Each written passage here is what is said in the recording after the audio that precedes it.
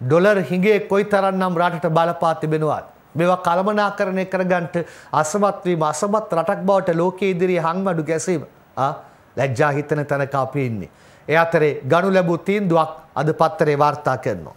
Dollar ලක්ෂයක් දුන්නොත් රන් පාරාදීස වාස වීසාව විදේශකයන්ට දීර්ඝකාලීන visa ලබා දීමේ යෝජනාව කැබිනට්ටුවට කියලා නවෝද්‍යාප පවනිලියෙන්.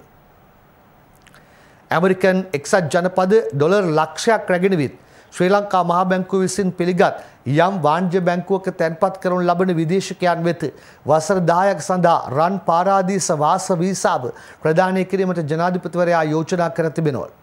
ඒ අනුව පළමු වර්ෂයෙන් පසුව ඩොලර් 50000ක් දක්වා ආපසු ගැනීමට විදේශකයාට අවකාශය වන අතර දෙවන වර්ෂයෙන් පසුව වීසා ප්‍රදානය කර ඇති කාල සීමාව පුරා ඇමරිකානු ඩොලර් 50000ක අවම ශේෂයක් පවත්වාගෙන යා යුතුයයි යෝජිතයි. ප්‍රධාන අයදුම්කරුවන්ගේ කාලාත්‍රය හා යැපෙන්නන් වෙතද එම වීසාවම ප්‍රධානය කිරීමට නියමිතයි. එබයි මේක දාලතයෙන්. ඩොලර් ගෙන්න්න ගන්න ඩොලර් හොයා ගන්න දැන් ඒ අර්බුදේ දිගුව කොයිතරන්ද කියලා කියනක ඔබට පැහැදිලි වෙන්න පුළුවන්කම තියෙනවා.